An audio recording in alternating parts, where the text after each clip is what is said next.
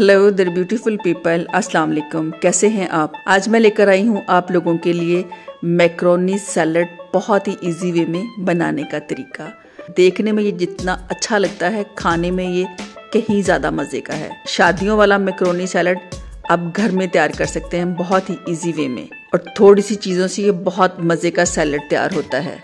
इसके लिए सबसे पहले लिया है मैंने ये वन टीस्पून लहसुन। वन टीस्पून ऑयल के अंदर स्टिर फ्राई कर लें।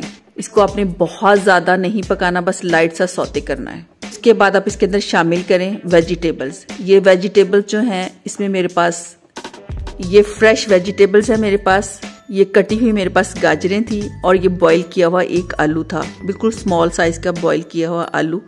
इसको चकोर पीसेस में कट कर लें। अब इसके अंदर मैंने शामिल किया है ये शिमला मिर्च।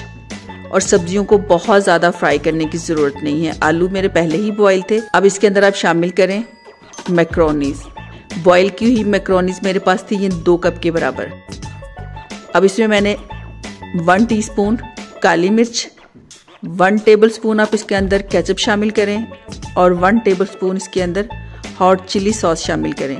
वन टेबल स्पून आप इसके अंदर सोया सॉस शामिल करें। सेसमी ऑयल आप इसके अंदर हाफ़ टी स्पून शामिल करें। अब आप इसको मिक्स करें और थोड़ा सा लाइट से इसको पका के और धनिए से गार्निश करके आप इसको चूल्हा बंद कर दें। हमारा बहुत मज़े का मैक्रोनी सैलड तैयार है। खुद खाएँ, अपने मेहमानों को खिलाएँ और इन्जॉय करें। ये बहुत मज़े का मैक्रोनी सैलड मेरी वीडियो को लाइक करें, शेयर करें और सब्सक्राइब करें और कमेंट्स में बताएँ आपको किस तरह की वीडियोस चाहिए ताकि मैं आपके लिए अच्छी अच्छी वीडियोस लेकर आऊँ। अल्लाह हम सबको सेहत और ईमान का रिजकता फरमाए। मेरी नेक्स्ट वीडियो तक अल्लाह हाफिज़।